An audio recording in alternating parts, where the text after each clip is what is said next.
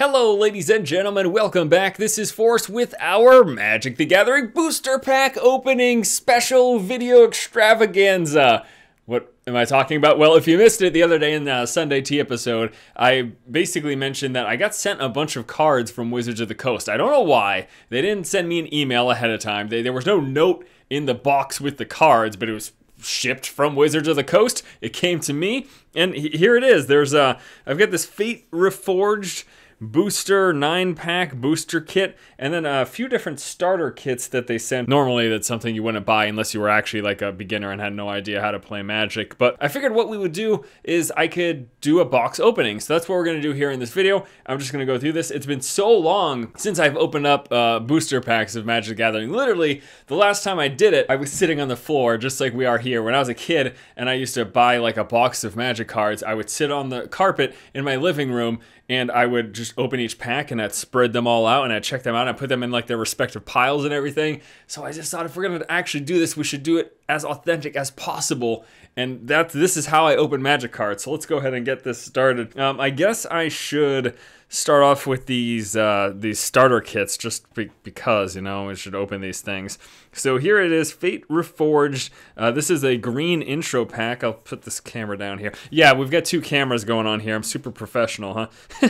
All right, so let's let's get. How do I should I open this? Should I open it from the top or the bottom? Let's open it from the top here. Trying to get this. Oh, this is a horrible job. I'm like butchering this thing. Although I suppose I don't really need this packaging again in the future, huh? All right, so, ooh, what's? This back here. Oh, they come with booster packs too. I got so many booster packs to open up. So that's a starter deck, and it looks like we got a couple of booster packs open up as well. But I don't know what this is. This is the rules reference card. If you ever, so many times I'd be playing like in a, in a local tournament or whatever, and it'd be like, I don't know if you can do that. Let's double check the rules. And then we call over our host. His name was Hammer. He was uh, his, first name was Sean. I forget what his last name was, but he used to be on the MTG Pro Tour, and he opened up a magic store right by where I lived as a kid. And so we'd call over Hammer. He'd be like, Hammer, I'm not sure about this rule. Could you please, uh, could you please check the rule book? So he, he, he, I mean, he knew all the rules, so he didn't have to check the rule book but sometimes you'd have a little reference card so you could check all the different rules. What rules are there? Actually, it was a lot bigger than this thing. It was like a thick rule book. But what is this here? Fate Reforged. Is this like a poster thing? This is interesting. Let's go up to the big camera here. Oh yeah, stuff to hang on the wall. Absolutely. I know this card art, don't I? I feel like I've seen this before. Is this not a thing that I've already seen before? It, it, it looks like a thing I've already seen before. Maybe not. I don't know. I could be completely off base here. But got stuff to hang up. And then like a, uh, a list of, I guess these are the different starter decks. There's five of them. They only sent me four. no, just kidding. Uh, okay, so that's that. All right, so let's open up. Let's open up. Let's start off with the uh, starter deck here. Okay, so we've got our little. This is a this is a snowboard tool. I used to snowboard. I haven't done it in a long time now, but it's got all sorts of fun stuff. And even though I don't snowboard anymore, I still use it on occasion. And it's good for opening up packs, apparently. Just a little sharp blade there, which I think was for cutting straps or whatever in case you get tied up or what. I don't know. I don't remember what it's for. I don't snowboard anymore. Temur War Shaman. When Temur War Shaman enters the battlefield, manifest the top card of your library. Put that card onto the battlefield face down as a 2-2 creature, then turn it face up at any time uh, for its mana cost if it's a creature card. I get to, uh, when it comes into play, I get to put a creature, a top card in my library, put it down as a 2-2 creature, and then it can be flipped over or whatever. So that's pretty interesting. You know what? Maybe I'll do this instead. I don't know if I want to do it like this. Maybe we'll do this so I can read it better, you know? Thousand Winds, flying, 5-6 with morph, may cast this card face down as a 2-2 creature, and then um, for 3, and then I can turn it face up. When Thousand Winds is turned face up, return all tapped creatures to their owner's hand. So that'd be really good after someone attacked you or whatever, and their creatures were tapped out, you could do that and then return those cards uh, to the owner's hand. Uh, and then we've got just a bunch of commons. I don't think I want to go through. There's so many. There's so many damn cards here to go through. I think I'll only really read off of the rares and stuff for you guys. But we can just quickly then some additional cards. All right, so it looks like it's going to be two rares for a starter pack. So let's go ahead and check out. Uh, let's check out the next starter pack, and the next starter pack here. This is the red one. Uh, hello. switching cameras there. All right, so let's open up this one. All right, so we got a couple of uh, a couple more booster packs in there, just like that. Uh, two more little things. I wonder if this is a different poster. I will actually be interested if that is. If I get like a bunch of different posters here. No, that, that looks like the same damn thing. It is the same damn thing. Thanks a lot, wizards. Let's take a look at this here. Ooh. All right, so here's the foil uh, foil rare card that we have. This is the Flame Rush Rider.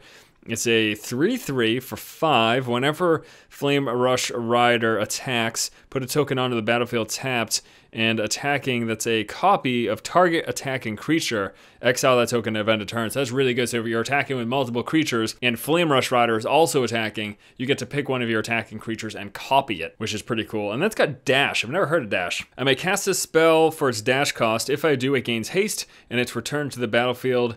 Uh, return from the battlefield to its owner's hand at the beginning of the next end step. Wow. So you can basically temporarily put this in play. Can that be done as an instant or is it just a sorcery? I'm assuming it's just a sorcery. You do it during your turn. So if you don't want your opponent to destroy it on their turn or something like that, maybe. I'm not positive though. Deflecting Palm. So it's a red and a white. It's an instant. The next time a source of your choice would deal damage to you this turn, prevent that damage. If damage is prevented this way, Deflecting Palm deals that much damage to that source's controller. So you want to fireball me in the face for 15? No thank you. Deflecting Palmed back to your face. Congratulations. I hope you like it. Okay, so here's the next pack. Uh, looks like it's a black deck at least. Black and then something else. And try to make sure we don't get the reflection of the lights. Okay, let's open this. I suck at opening these things. They're so horrible to it. I'll put all these boxes over here. Okay, so do do do do. Couple booster packs, some more of this stuff here. Mm-hmm. Put these over here. And is this? Yeah, it is the same damn picture. You know, Wizards, you really could have mixed it up. Swear to God, you got so much amazing card art, but you use the same damn picture freaking thing over and over again. What are you doing? I might accidentally call them Blizzard because that's they're two companies that like I I've been following for so long, and they sound so damn similar. Wizards and Blizzard. Why don't they work together and make the best game ever? Probably not gonna happen. Uh, all right, here we go. Uh, black and green is this deck. Just take a quick sort of perusal. You guys can see these here in the back at least. I would seriously, this video would be like an hour long if I didn't, um, if I if I went through every single card. So we can't do that. Not gonna happen. Not gonna happen. Let's see what this does. Flying, 5-4 for 5. At the beginning of each opponent's end step, that player chooses up to two creatures he or she controls, then sacrifices the rest. So this will be good. This will be good if you're playing like a, a, a deck that goes wide, that basically floods the board with a lot of stuff. This will be strong against that because I have to sacrifice everything but two of those creatures. Next one is the green one, Queen. I know Queen. Uh, so this is 7 for 2-2 flying. It has Death Touch, so whenever it deals damage to another creature, it will kill that creature. And then uh, when Hornet Queen enters the battlefield, put four 1-1 green insect creature tokens with flying and Death Touch onto the battlefield. So yeah, I know all about Hornet Queen. That's an M15 card. That's not a Fate Reforged card, so that's why that's why I know it. All right, last starter pack here, and then we'll be just going into the boosters, at which point we'll take a look at the rare from each booster and then go on. So this is the Unflinching Assault deck. This is going to be black and white. Ooh, that's a nice color combination. I like that color combination. Got removal, you got uh, possible life gain, you got some really good, cool things like graveyard fetch or whatever. At least you have the possibility of that. Our deck. Let's check out the deck now. Too much cardboard sitting around here now. Sitting around here, sitting around here. Uh, put aside the rares, and then we'll do a quick perusal through the deck for you to maybe see briefly if you guys just want to get a look at I don't know I don't, I don't know you, you can't read any of anything probably. I don't know how high def this damn camera is gonna be this little handheld piece of garbage. You know I bought that I bought this handheld thing for like 400 bucks thinking yeah this is it that's all I'm gonna need to record high quality high quality videos. It turns out no you need like a 1500 to $2000 camera like the one that's right here. It's just just ridiculous man to get good looking video. Here are our cards. We have got the dragon scale general four lands for a 2-3 uh, at the beginning of your end step, bolster X, where X is the number of tapped creatures you control. So bolster I get to choose a creature with the least toughness among the creatures that I control and put X one one plus one plus one counters on it. So that's permanent. So basically, however many tapped creatures that I have um, at the beginning of my end step, I get to take the creature with the least toughness and give him that many plus one plus one counters as a permanent upgrade. That's not like for the turn or something. That's crazy. Wow. Cruel Sadist. It is one black for a 1-1. I can pay tap, pay one life, pay one black, and tap it, put a 1-1 counter on Cruel Sadist. So I can just put a counter on it.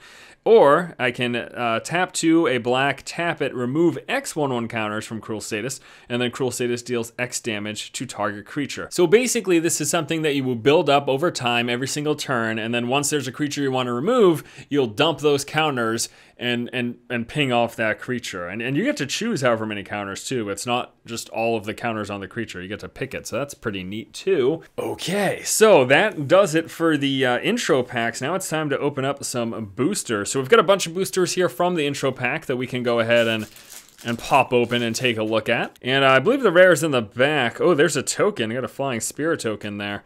And we also got a, uh, a tap land. And here we go. That is, uh, wait a second. Are those two rares?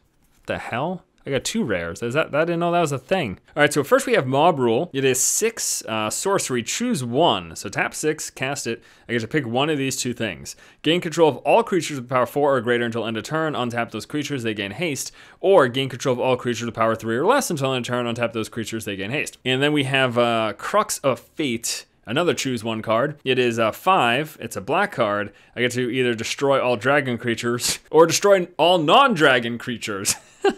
yeah, I'll go with that one. All right, next pack here. Some cool art.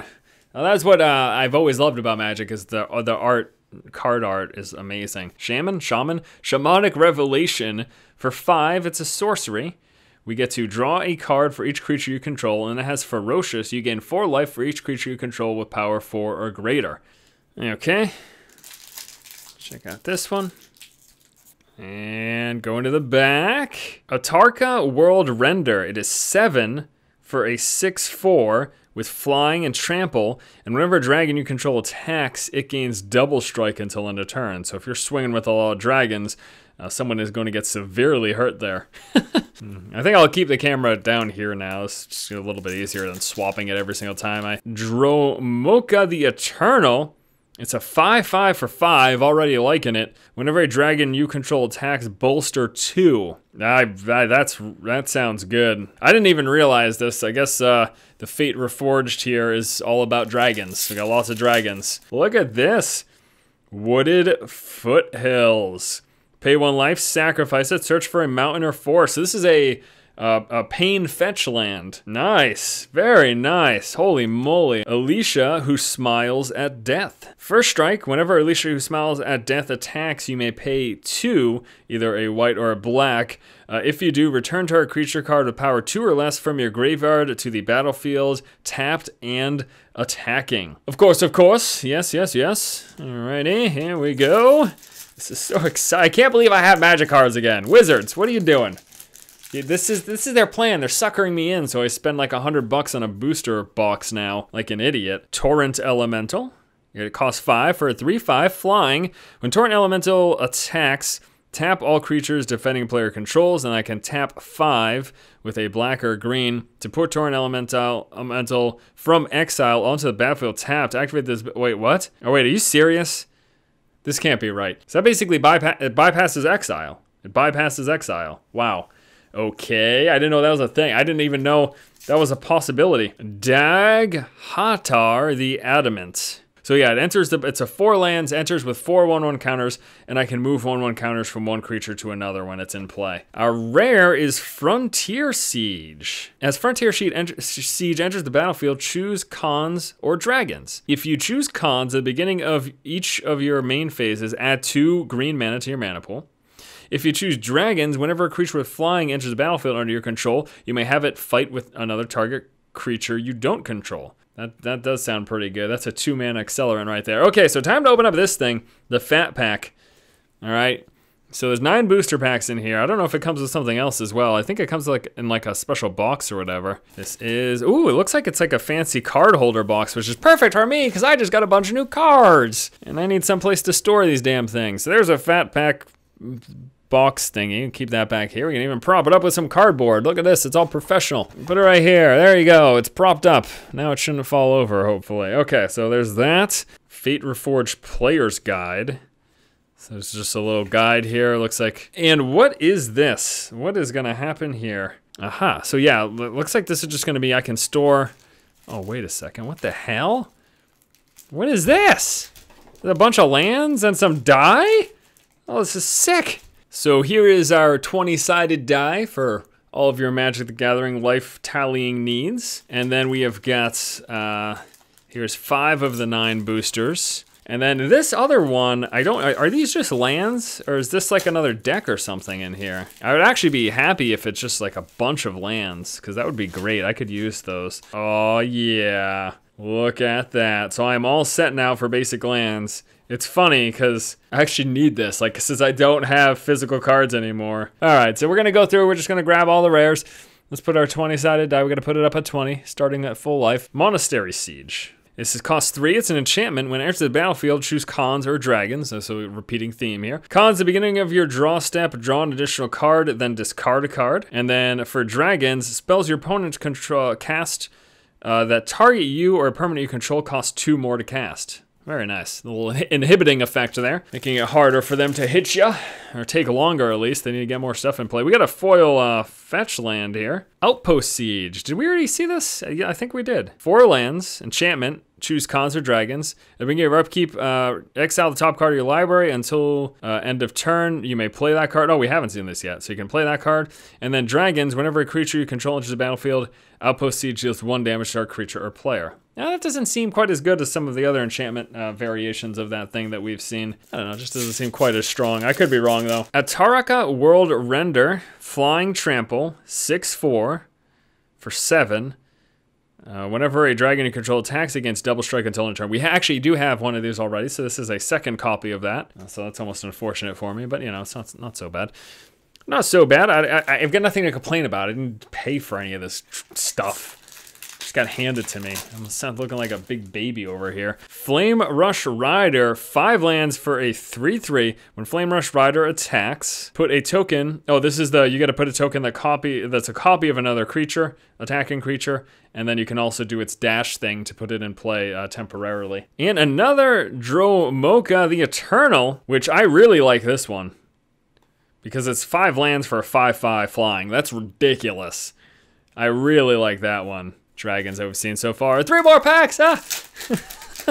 what are we gonna get? We get a Flame Wake Phoenix. Have I seen this? Three lands for a 2-2 flying haste. It attacks each turn if able. At the beginning of combat on your turn, if you control a creature with power 4 or greater, you may pay 1 red. If you do, return Flame Wake Phoenix from your graveyard to the battlefield. Okay, so it's a 2-2 flying haste for 3. I can return it for 1 red if I have a, uh, a, creature with power 4 or greater during my attack phase. So throw this in with your dragon deck where you're going to have creatures with power 4 or greater and you can be getting him back pretty consistently. I feel like decks with phoenixes in the past typically don't have a lot of big creatures because you, you you'll be running like burn spells and and this will be one of your small reliable creatures that you could keep bringing back. At least back when I, you know, back when I played Paper Magic. What do I know nowadays, huh? Wild Call. It's uh, two green and an X. Manifest the top card of your library, then put X11 counters on it.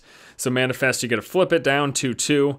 Uh, face down is a 2-2 creature. Turn it face up at any time for its mana cost. And then it's going to have those counters on top of it as well when you manifest it. That's pretty nifty. Okay, here we go. Last one. This is the last booster pack here in our booster pack opening video extravaganza extraordinaire. So let's take it slow, take it nice and slow.